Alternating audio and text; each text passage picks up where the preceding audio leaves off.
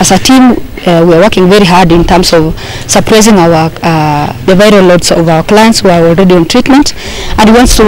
also increase in terms of identification, in terms of reaching those people who are living with HIV outside there and we might not have reached. It's only that in this context of uh, COVID, that uh, accessibility to our families and uh, gatherings for testing and counseling has been hindered, but we are working all in all to achieve our targets. We've also seen that our teenagers are doing much of explorations and sex activities are rampant across the, the county and outside the country. So yes, we are there and uh, we really need to do uh, much uh, efforts curb this spread.